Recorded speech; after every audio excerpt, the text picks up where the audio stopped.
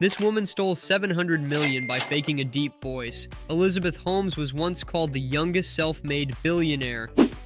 She wore turtlenecks to imitate Steve Jobs and was known to speak in an artificially low voice. This is what happens when you work to change things. For quick backstory, she dropped out of Stanford at age 19 with a vision to revolutionize blood tests using just a single drop.